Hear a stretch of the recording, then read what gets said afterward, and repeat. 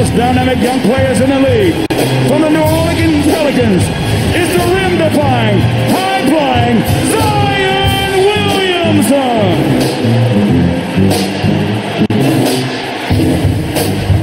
The man gets buckets, flat out. He's once, twice, three times an All-Star from the Washington Wizards, Bradley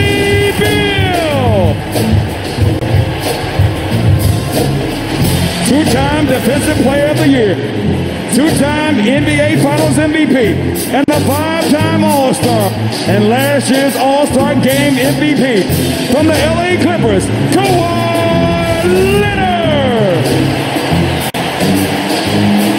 They stand tall. They stand ready. This is Team Durant.